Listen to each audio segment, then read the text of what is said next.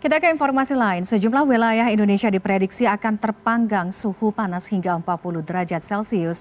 Hal ini berkaitan dengan hawa panas yang melanda sejumlah kawasan di Indonesia di tengah musim kemarau. Kepala Badan Meteorologi, Klimatologi, dan Geofisika BMKG, Dwi Korita Karnawati sebelumnya menyebut suhu panas di Indonesia diprediksi bisa tembus hingga 40 derajat Celcius.